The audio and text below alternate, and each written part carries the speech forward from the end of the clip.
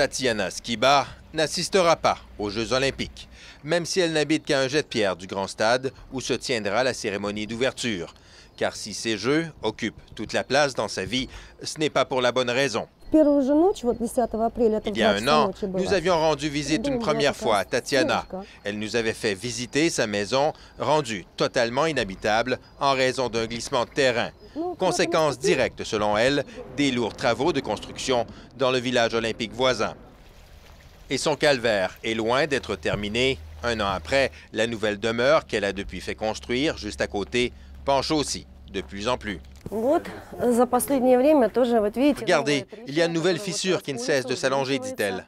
Près de trois ans se sont écoulés depuis le glissement de terrain et malgré trois décisions de justice en sa faveur, elle n'a toujours pas obtenu la moindre compensation.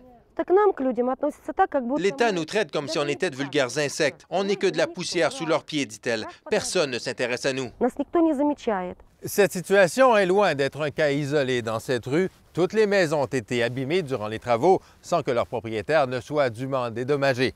Mais il y a pire à Sochi, des gens qui ont vu leur maison détruite carrément, intentionnellement, et qui attendent toujours aujourd'hui compensation.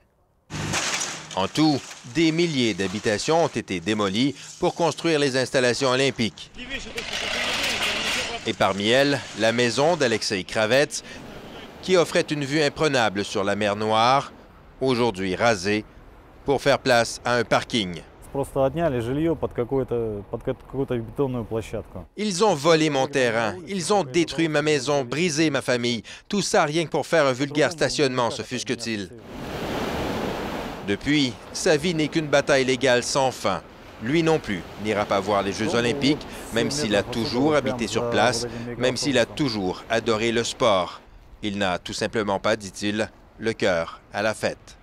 Jean-François Bélanger, Radio-Canada, Sochi.